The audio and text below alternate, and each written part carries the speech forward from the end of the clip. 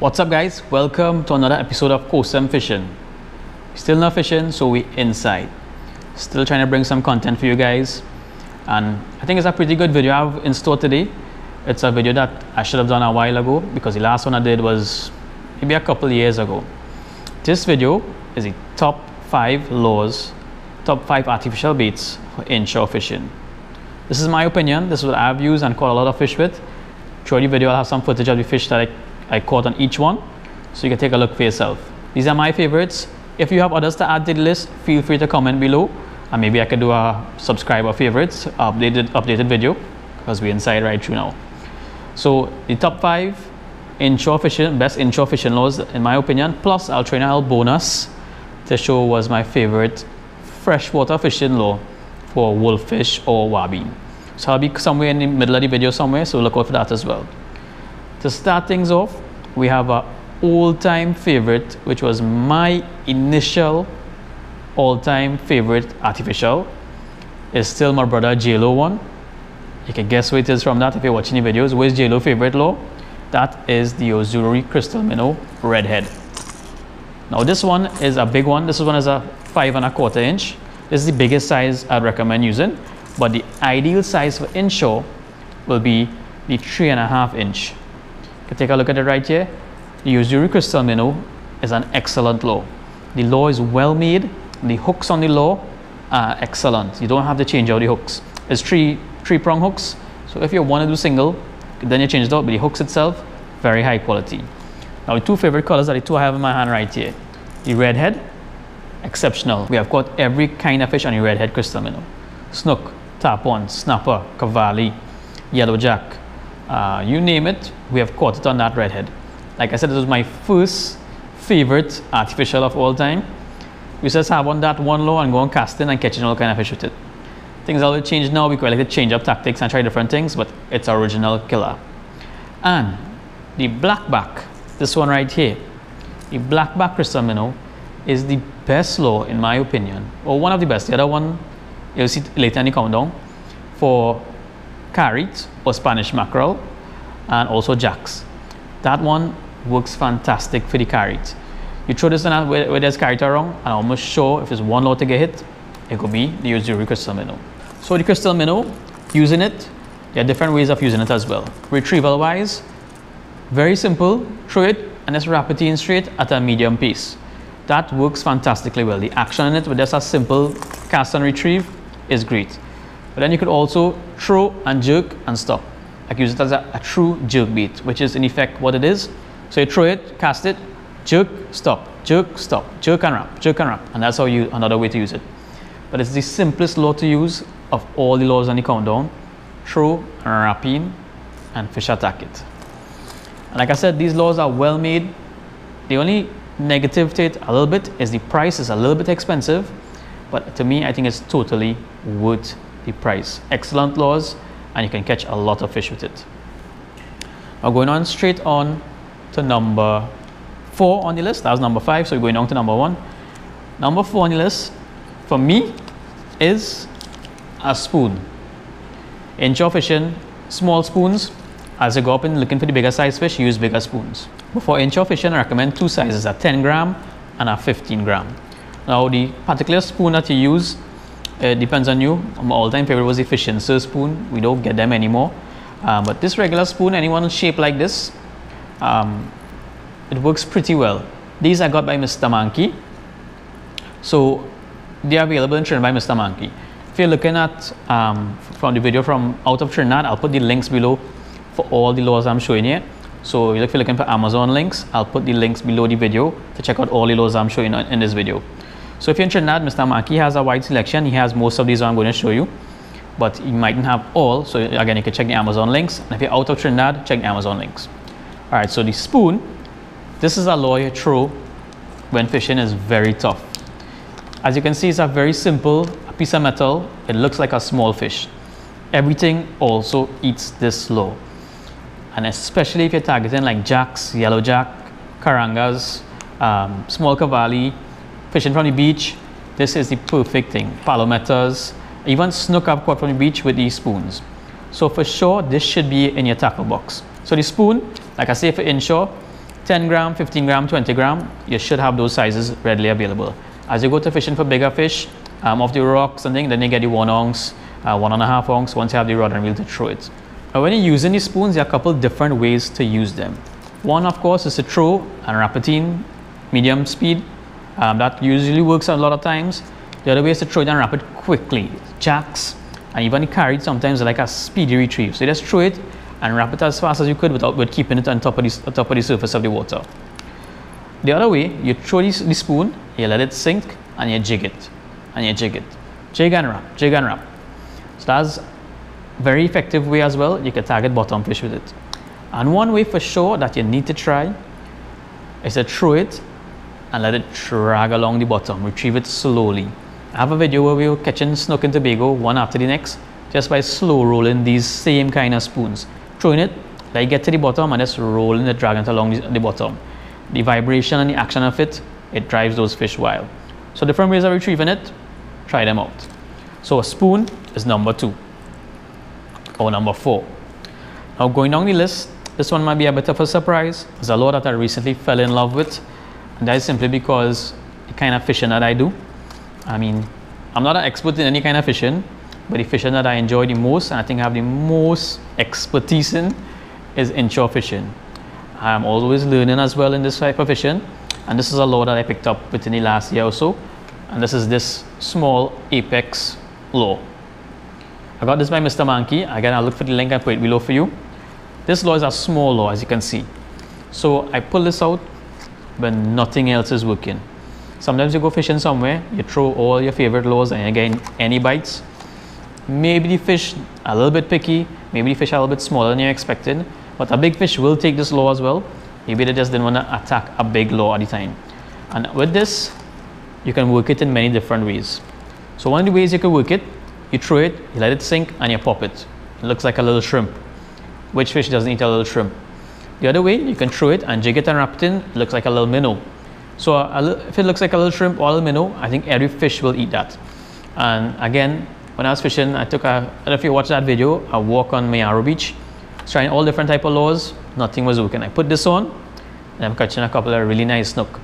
Also, I've done some fishing trips with ZZ. I didn't have the, the, those on footage, but we've been fishing for snook. They weren't taking anything else.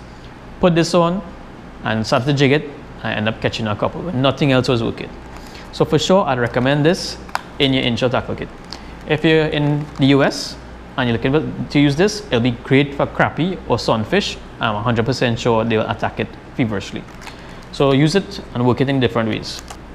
Alright guys, before we get into the top two lures, my top two lures presently for inshore fishing, I'm going to show you the bonus lure for freshwater fishing in Trinidad to target wabine or wolfish. In the States, it's a very it's a favorite lure for bass as well, and that is the spinner spinnerbait. Double blade spinner spinnerbait. Quarter ounce or half ounce is what I'd recommend. This is the best lure in my opinion to target wolfish or wabine. You throw it, a couple different ways to retrieve it. You throw it, wrap it in steadily.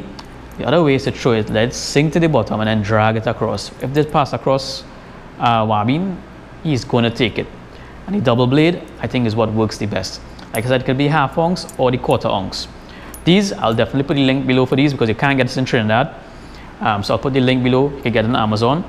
Different types of blade there is, but the double blade is what I think works the best. And the half ounce or one ounce. You would have seen a lot of videos where me and ZZ, we caught a lot of wolfish. And this is the most effective lure. You can normally put like a trailer on it, um, a grub tail, or even a soft plastic, um, attach it to hair, and even works even better. Gives a little more body, a little more vibration in the water. And I think that's what prompts the strike from the wolfish, the reaction bite. So get this as well if you want to do some freshwater fishing.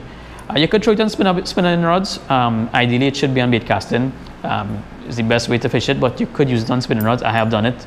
I've seen some videos of me catching my, I think my PB wabine was on one of these, um, throwing on a spinning rod. So get this for local freshwater fishing. Now we're down to the top two lures for inshore fishing. Anybody can guess what the top two are? All right, well, everyone knows this is my one of my favorites for sure. The DOA Cal. You cannot go wrong with this. It comes in at number two. A DOA Cal on a jig head. Uh, 1 16th, 1 8 1 quarter ounce jig head, and a DOA is effective anywhere inshore for any kind of fish.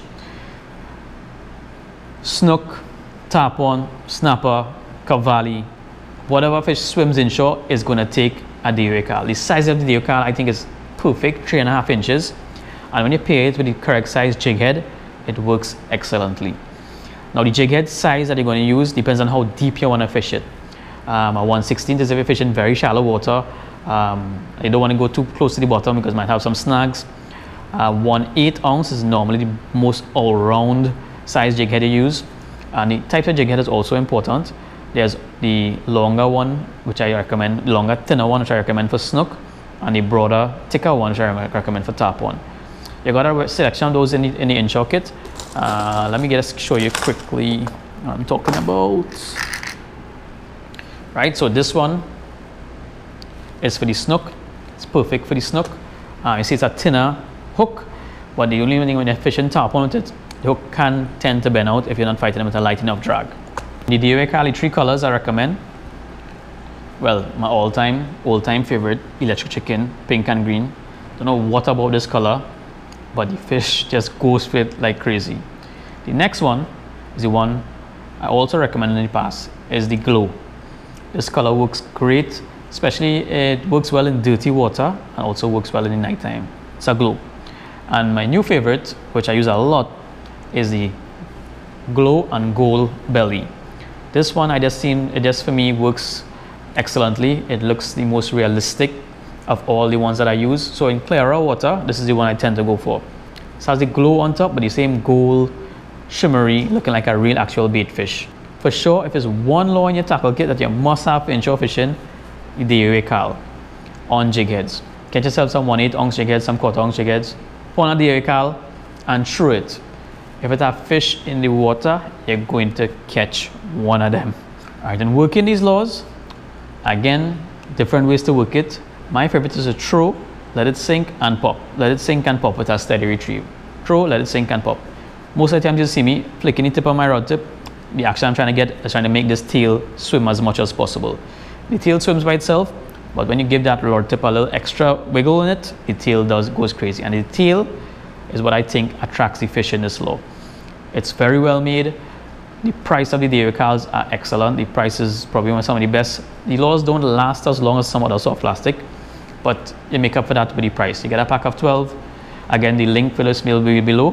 Mr. Mankey has them as well. I think it's around 35 TT dollars. You cannot go wrong with that price in Trinidad and Tobago. So again, get this and put it in the tackle box. All right, so on to the number one inshore fishing lure for me. Personally, this is my favorite. And it is so because kind of fish I've caught on it. And that is the Yo-Zuri twitch. This lure right here. These lures right here, Yo-Zuri twitch. This size is my favorite size. There's a smaller size which I think is the more all-round size. It catch more fish with it. But I love this particular size because it's the size of fish that you want to target. Yo-Zuri twitch, excellently made lure. The hooks fantastic, strong, durable, put up to the test. You can catch any size of fish with it. The lure is well made. The body hard, can take real licks. And the weight, if you look inside it, if you shake it, you'll hear the rattle.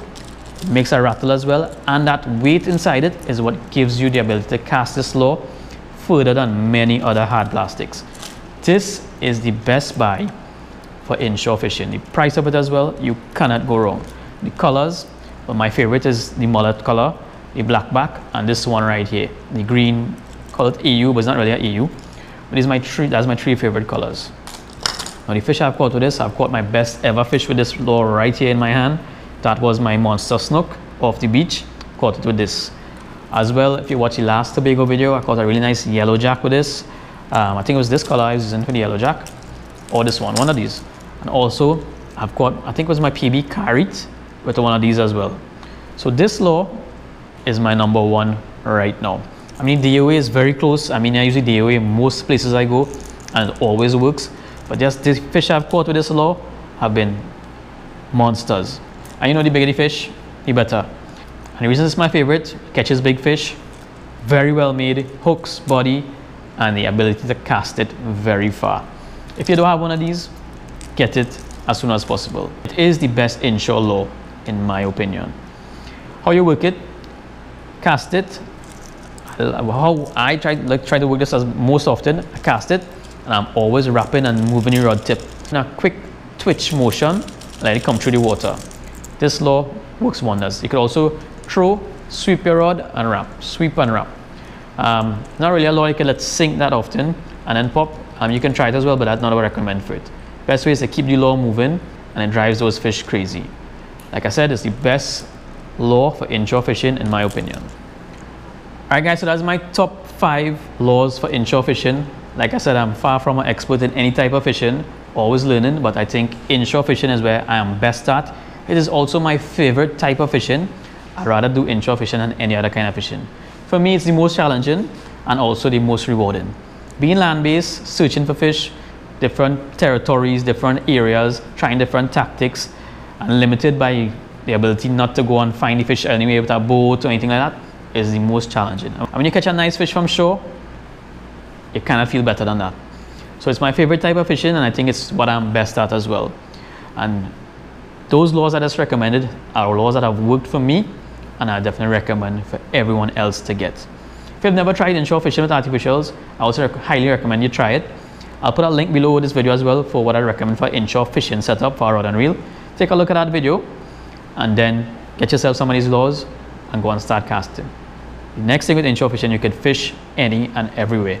One star water, give it a try. River, pond, lagoon, beach, sea, ocean, any kind of water you see, give it a try. You never know what lives there. So hope you guys enjoyed this video. I'll try to do some more videos like this. Always comment below and recommend what you'd like to see. And what's your favorite inshore lures as well. Comment below. Maybe I might know about it and maybe I might give it a try. And the next video I do might become one of my favorites.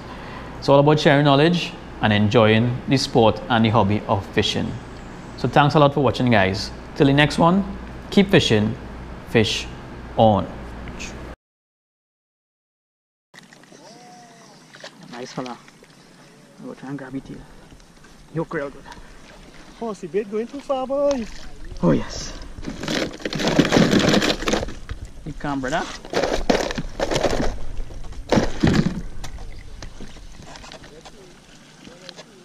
Close. On the black back, guys. What about what the bait is?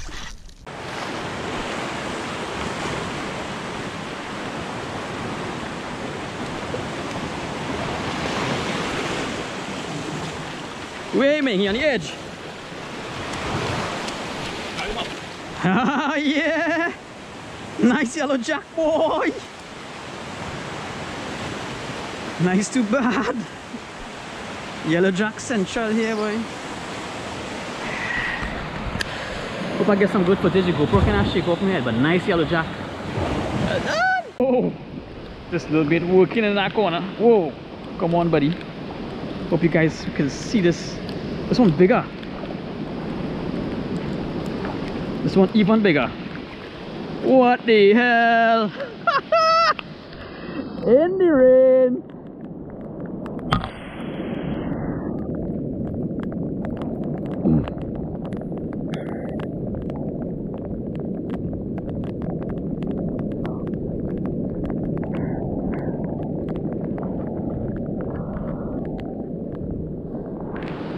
Check it out guys.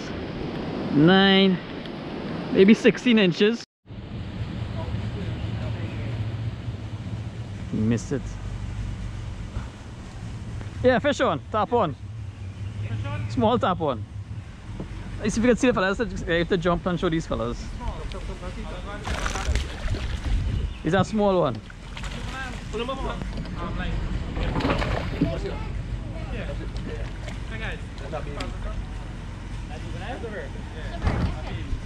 Scoop him there.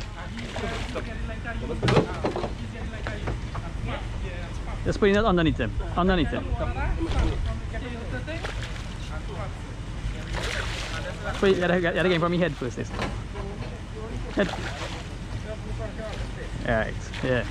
Let me see him. So this is what you call a tarpon guys. This is literally a baby. Tap on and I grab Like that's the same thing? Yes, or- correct. There you go. It's the same thing. Yeah. So was why have to The the international name is Tarpon. Oh, the other pose up. I ain't Trinidad yet. Trinidad name is Grand Ikai. Grand Ikai is where it come from. Large scale. Yeah, um, you do I have a review on that one already? Just now, just now, course. Just now, mate. Just now, come. Just now, come. Hold him, hold him, hold him, hold him. Hold him right there. Hold him right there. Hold him right there. Hold him right there. Hold him.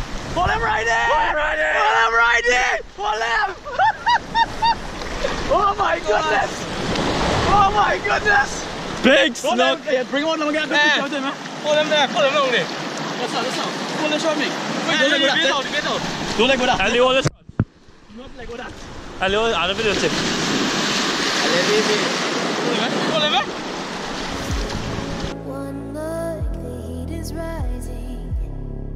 Been cold